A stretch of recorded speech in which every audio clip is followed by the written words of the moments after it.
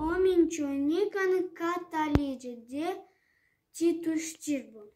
Din ograda lui Petrică a trăsnit o minciunică și prin gura lui Ignat fuga a pornit prin sat. Cum trecea pe o cărărușă, o întâlnește pe Caciușa, iar aceea la rândul ei i-a șoptit i-a șoptit lui Andrei și de acolo mai departe pe, pe la alte cu gure sparte.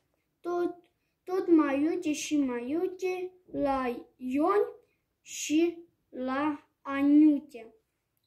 Cât, cât a, a alergat prin sat, minciunica s-a îngrăsat, s-a făcut minciuna mare, când nu cape pe cărare.